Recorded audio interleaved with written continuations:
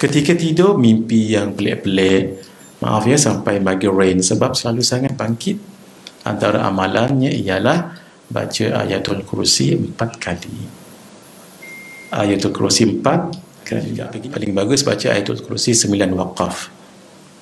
Allahu la ilaha illa huwal qayyum la ta'khudhuhu sinatun wa la nawm lahu ma fis samawati wa ma fil ard man dhal ladhi yashfa'u illa bi'idh ya'lamu ma bayna aydihim wa ma khalfahum wa la yuhituna bi shay'in min ilmihi illa bima sha. Wa si'a kursiyyuhu samawati wal ard wa la ya'uduhu wa huwa al-aliyyul hmm.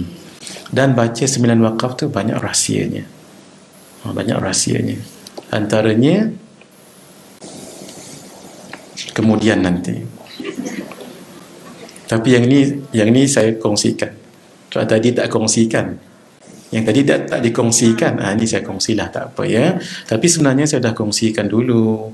Siapa yang tidur dia diganggu tidurnya. Kadang-kadang perasaannya tak tenteram. Tengok orang lah tengok bayang-bayang lah. Sebelum tidur. Ketika tidur mimpi yang pelik-pelik. Maaf ya sampai migraine sebab selalu sangat bangkit. Antara amalannya ialah baca ayatul kursi empat kali ayatul kursi empat kali. Begini caranya. Cara yang pertama baca macam tadi. Macam tadi. Baca cara yang kedua baca macam tadi tapi ketika sampai wala yauduhu wala yauduhu wala yauduhu hifadhuhuma wa huwa al-aliyyul azim. Ha, macam tu caranya. Sudah. Yang kedua ulang pula.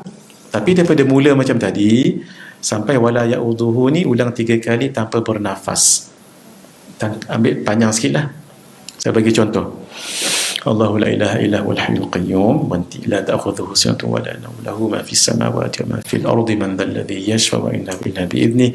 Ya'lamu ma bayna aydihim wa ma khalfahum wa la yuhituna bi shay'in min ilmihi illa bima sha' wa si'a kursiyyuhu samawati wal ardi panjang ni kan? Tarik nafas panjang ولا يؤوده ولا يؤوده ولا يؤوده حفظهما وهو العلي berapa kali dah dua baca tiga kali macam tu juga boleh saya ijazahkan ya semua mengamalkannya kalau menghadapi masalah gitu kalau tak menghadapi masalah pun elok juga baca baca berapa kali tadi empat empat kali yang kali pertama baca biasa biasa yang kedua, tiga, empat tu diulang.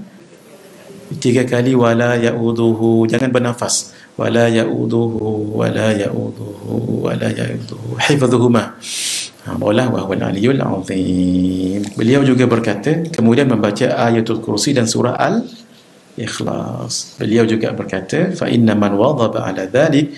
Sesungguhnya sesiapa yang selalu membaca amalan tersebut ja'alallahu lahu ulfatan bainahu wa baina ahli dhalikal bait Allah akan memberi rasa kasih sayang antara dia dan anggota keluarganya anak isteri dan semua sekali.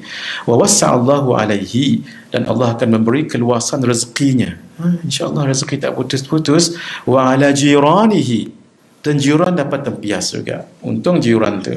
Sebab ber ini dengan kita semua